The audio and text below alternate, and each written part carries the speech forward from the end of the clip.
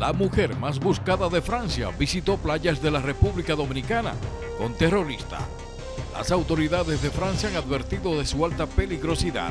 Haya Boumedien estuvo disfrutando de las aguas de playa de República Dominicana con el terrorista Ahmedi Koulibaly.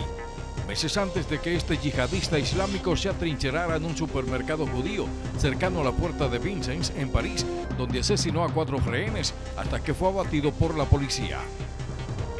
La revelación la hizo ayer el diario estadounidense Washington Post, que publicó un sobre las andanzas de terror y la vida de esta pareja, acompañado de un pliego de imágenes de ambos, en la que aparecen en traje de baño y exposiciones panorámicas en atractivas y soleadas playas dominicanas. NTN, Noticiero Telenor.